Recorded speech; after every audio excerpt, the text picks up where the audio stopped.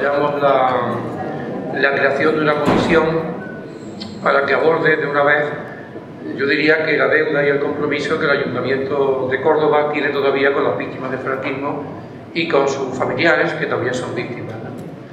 Habría que recordar en ese sentido que aquí en Córdoba ciudad no hubo guerra civil, frente a lo que sostienen muchos todavía. Hubo solamente golpe de Estado.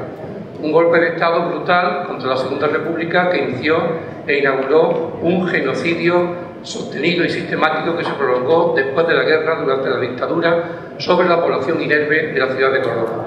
Ese genocidio está reconocido por autores como Paul Preston, como Joseph Fontana y en Córdoba como el historiador Francisco Moreno Gómez y está sustentado con datos incontestables desde el punto de vista historiográfico. Por tanto, el ayuntamiento, como el elemento político, como parte del Estado más cercano a los ciudadanos y ciudadanas, tiene la obligación moral de responder a ese genocidio atendiendo a los derechos de las víctimas de verdad, justicia y reparación. Se han hecho cosas en la anterior etapa del gobierno de izquierdas, se ha, instituido, se han erigido los muros de la memoria en los ayuntamientos, en los cementerios de San Rafael y de la Salud, se ha creado un sendero de la memoria de la guerrilla antifranquista en Sierra Morena, pero aún queda mucho por hacer. Aún queda mucho por hacer, teniendo en cuenta además que este reto, que este compromiso del ayuntamiento con la ciudadanía no es de izquierdas ni de derechas, pensamos nosotros, piensa el pueblo por la memoria, sino que es de demócratas y de no demócratas.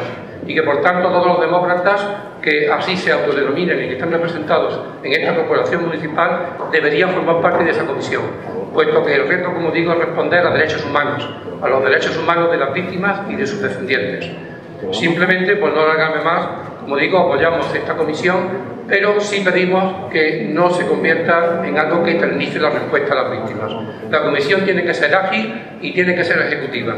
Y eh, una de las medidas más urgentes, más urgentes que pedimos como Foro por la Memoria es la eliminación definitiva de toda la simbología franquista, que es una agresión diaria a las víctimas de la dictadura, todavía hoy vigente en la ciudad de Córdoba, y que se comience cuanto antes también el proceso de exhumación mediante un acuerdo con la Junta de Andalucía y con la Universidad de Córdoba de las miles de víctimas que están todavía en las fosas sin nombre de los cementerios de San Rafael y de la Salud.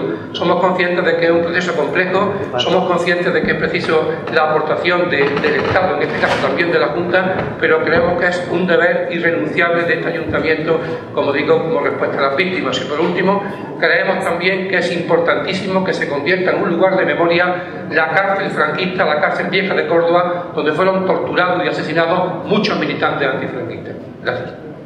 Muchas gracias.